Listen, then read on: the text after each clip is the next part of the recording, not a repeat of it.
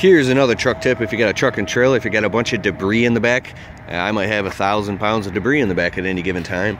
I keep my truck and trailer attached. I just do it. I don't care. I keep it attached and I lock it all up. I take my block, I put it underneath. That's just a uh, landscape timber. Put it underneath there, and then I'll crank it up a good six inches to relieve the pressure off the leaf springs so it's not sitting on the truck all damn night for 10, 14 hours, whatever that is. Oh, but you're hurting this. Shut up. Shut up. I'm, I don't care about the $40 crank pulley. I care about the $1,000 springs.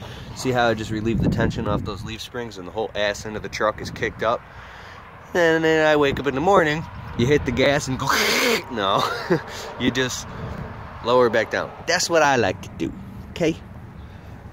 Sweet baby, yeah, look at my shoes. Why are you not wearing work boots? I know no work boots. You know why? Because it's springtime. My feet are covered in blisters. Oh, shit. My work boots are in the truck. Soaking wet, drying out, bitches.